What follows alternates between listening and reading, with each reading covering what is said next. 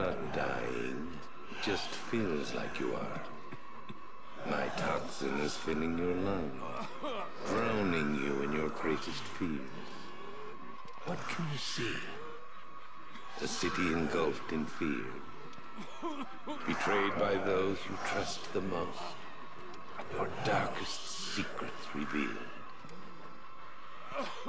As I tear your mind apart, Gotham will watch.